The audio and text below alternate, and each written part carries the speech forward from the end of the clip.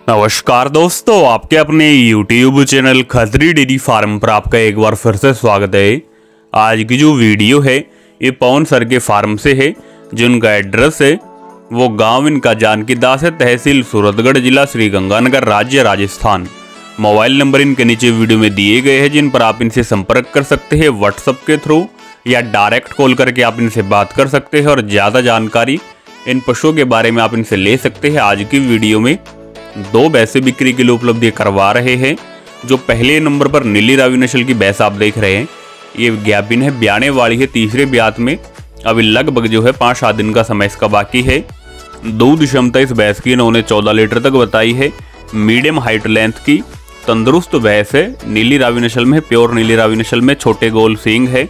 Video के माध्यम से चला करके भी इसको आपको दिखाया जा रहा है। बाकी जो भी पशुपालक बाइक खरीदते हैं, वो इनके फार्म पर विज़िट कर सकते हैं। अच्छे तरीके से जाँच परख करके दुधारू पशुधन अच्छी जायज़ कीमत पर आप यहाँ से खरीद सकते हैं।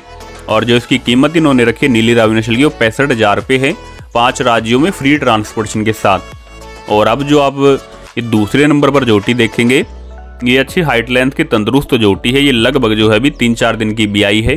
साथ में इसके कटड़ा है, मेल काफ को जन्म दिया है। मौके पर 10 लीटर कच्चा दूध, खीस बोड़ा इसके नीचे तैयार है। दूध क्षमता इसकी भी 13 से 14 लीटर तक रहेगी। लगभग जो भी तीन चार दिन की भी आई है, छोटे गोल सींग है। और जो पहले नंबर पर आपने नीली रावी नस्ल की भैंस देखी, उससे अच्छी हाइट है इसकी। और बच्चे के कच्चा सुंडरनाड, वो भी आपको वीडियो के माध्यम से देखने को मिल जाएगा। ताजी भी आई है अभी। दस लीटर खीस अभी मौके पर तैयार है। कीमत इसकी भी पैंसठ हज़ार रुपये इन्होंने रखी है। दूसरे ब्यात की जोटी है, तंदुरुस्त जोटी, साफ़ सुथरी। कीमत भी काफ़ी वाजिब है। और पाँच राज्यों में जहाँ जहाँ ट्रांसपोर्टेशन फ्री रहेगा, वो राज्य राजस्थान, दिल्ली, यूपी, हरियाणा, पंजाब। इन पाँच राज्यों में किसी प्रकार का कोई किराया आपको नहीं देना है। जो भी पशुपालक भाई लेना चाहते हो नीचे दिए गए नंबर पर इनसे संपर्क कर सकते हैं।